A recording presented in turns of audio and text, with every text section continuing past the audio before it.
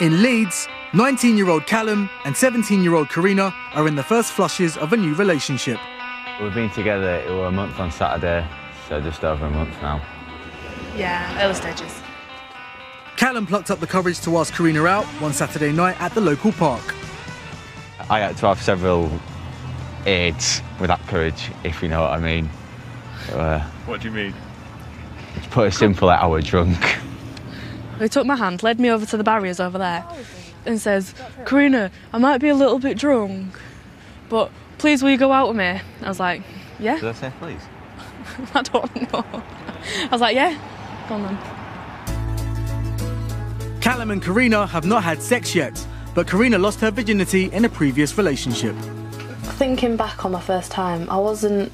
I was happy at the time, and I don't regret it because I never regret something that made me smile at one point.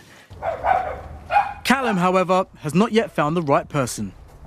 I'm still a virgin, which a lot of people might, you know, a lot of my mates, the, the mock me. I've never really cared. If it's your first time having sex ever, then I do think it's important for you to have it with, you know, someone who means something to you. It should be quite special. Tonight, Karina is cooking for Callum round at her place. This is the first night we'll spend together. Should be all right. But I think women tend to think, see things like this as a lot more romantic as men do. I'm not expecting, oh, if you know what I mean. You know, I don't expect to have sex with her tonight, to put it straightforward. You look quite nice, actually. I just can't really go a day without thinking about him. I get excited when uh, I go to meet him as well, thinking, oh, what, what are we going to do today? What's our little adventure for today? Bon appetit. Thank you.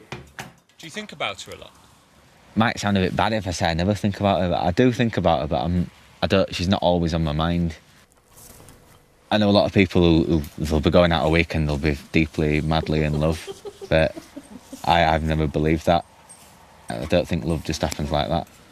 At the moment, I'd say I'm, I'm deeply attracted to her. I like her a lot, but not love. This is like really surreal. What is? I'm eating bacon, chicken, and cheese with a glass of pink juice. I actually do think I'm falling for him. I know some, something about him, I think. Have you told her? No, I'm too shy. Most young people start to develop an interest in sex and relationships after puberty, Oh, yeah. which happens at an average age of 11 for girls and 12 for boys. It is the most tumultuous time in any individual's life. So you've got this extraordinary explosion of hormones in men and women, and it's no surprise that it is associated with some quite radical behaviour. Puberty starts in a part of the brain called the hypothalamus. Messages are sent from here to the testicles in boys and the ovaries in girls, telling these glands to massively increase the production of sex hormones.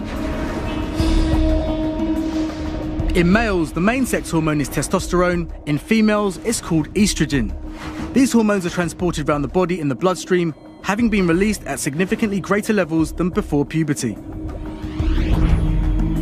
At sites all over the body, the sex hormones dock at receptors, triggering major changes in our appearance and bodily function.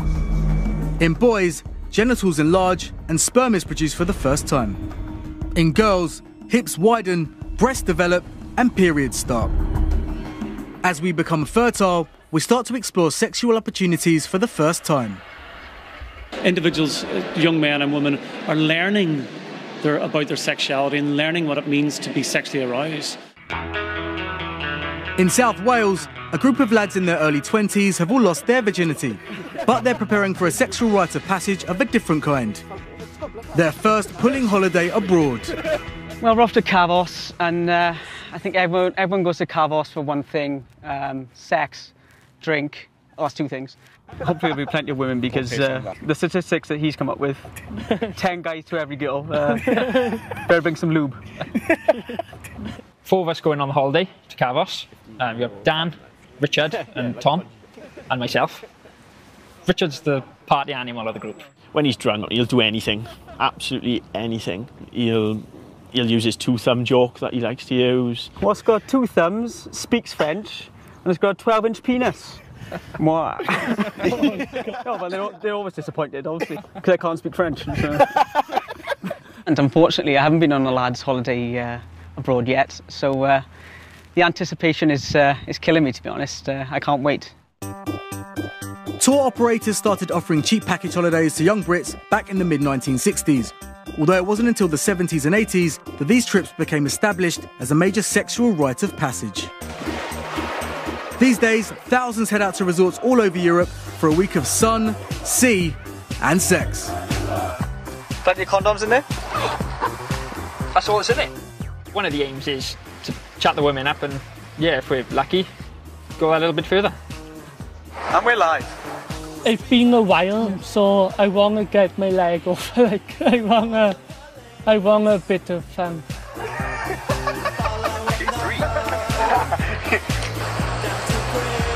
I'm 23 now. I can't really be going on these holidays much longer. I have to get out of my system. I think it'll be uh, epic, I think. Memorable.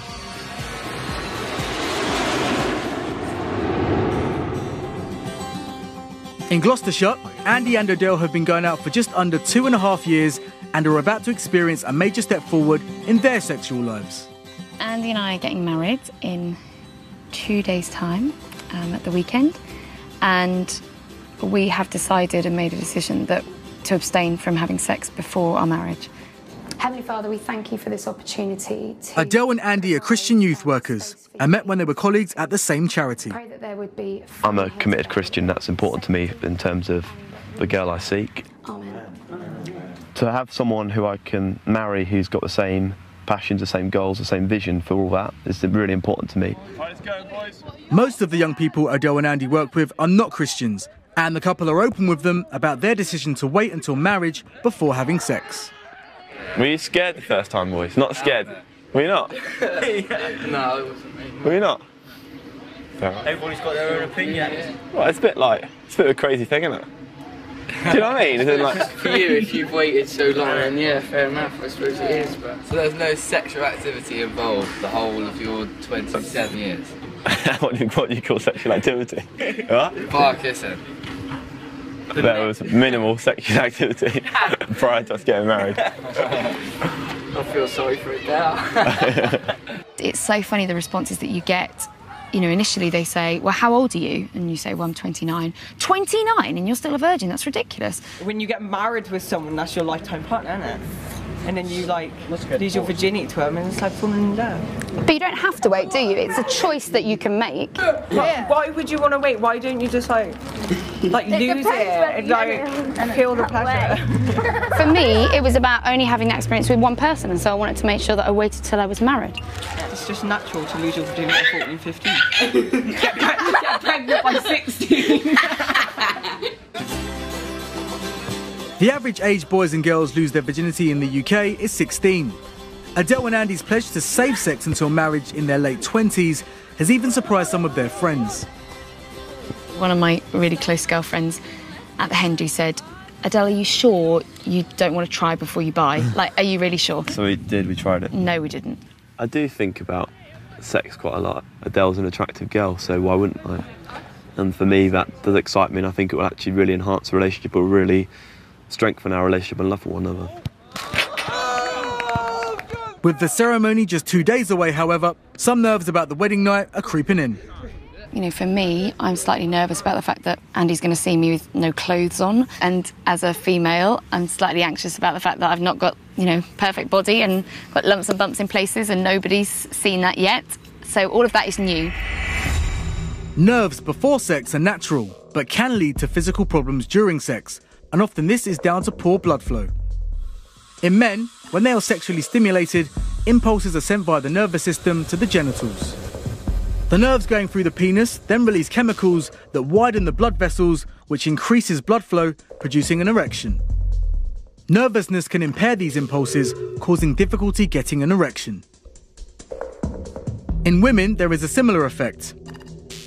Normally, sexual stimulation triggers blood flow to the vagina, which causes lubrication to make sex more comfortable. Anxiety can impair this blood flow, meaning the vagina is less lubricated, making it more difficult for women to get sexually aroused.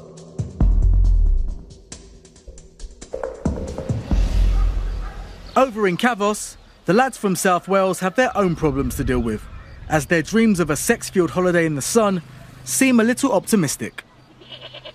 Definitely nearing the end of the season. Right? The, the end of the season's coming up on this Friday. It is like a wild west shantytown. It's a weird setup. I've never been to anything like this before in my life. It's so different at night. As night falls, the lads are determined to find some girls and get the party started. Nothing can dampen our spirits on, on a good night out. When there's plenty of girls, plenty of alcohol, bit of music, nothing can stop getting in our way.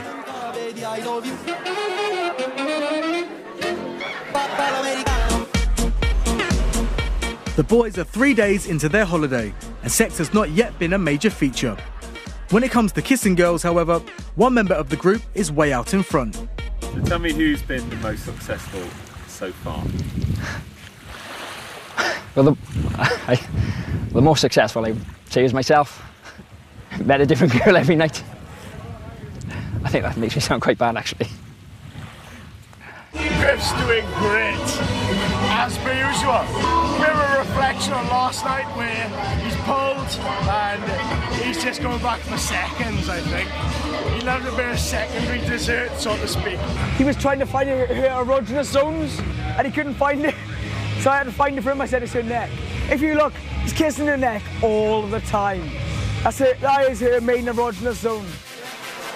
When we kiss, our bodies go into pleasure overdrive.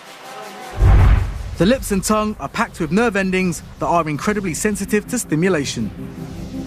This sparks the release of the feel good chemical dopamine by nerve cells in the pleasure centers of the brain.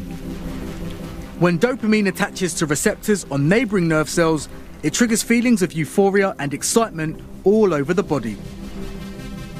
Some scientists believe kissing could be about much more than a fleeting moment of passionate pleasure. As more kissing leads to more release of other chemicals, such as the hormone oxytocin, which further stimulates bonding and desire between couples.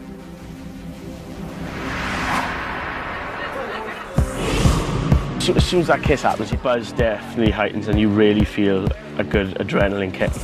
It's definitely something that just sparks, I think, in the back of your mind. There's always that buzz where you're thinking, yes, here we go.